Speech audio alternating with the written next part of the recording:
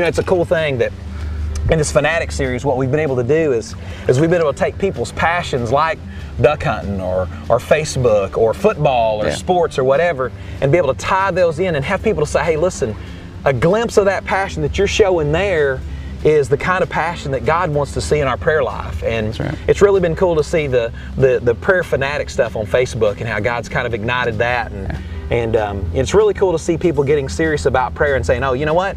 If I'm passionate over here, I can be passionate over here too. And, and, and, and bringing it. Like we're passionate about duck hunting, man. That's right.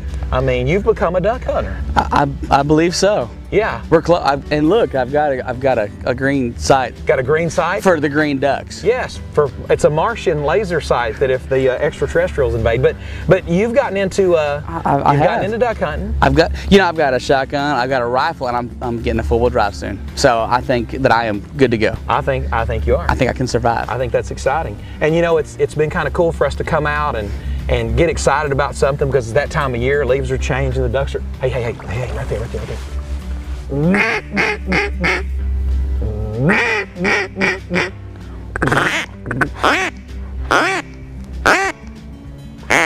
Uh, hey, un- unlike just being passionate in prayer, it actually matters how it sounds when you're out here, though. So, I tell you what you could do. Put that away. Well, if you just want to hang on to it, hang on to it for now. But you've, I mean, just the fact that you brought your decoy out here It's right there. Yeah, it's, it's probably that's probably plenty, man. That's I, probably I think that made the, that makes the spread. That I think one. it- you've done good. You the really one, I- the, the green one, right? I noticed we haven't had a lot of ducks landing close to us yet, but I think if we put some bubble bath out there, I think we get this thing going on. I think so. too. I think I've got just the thing.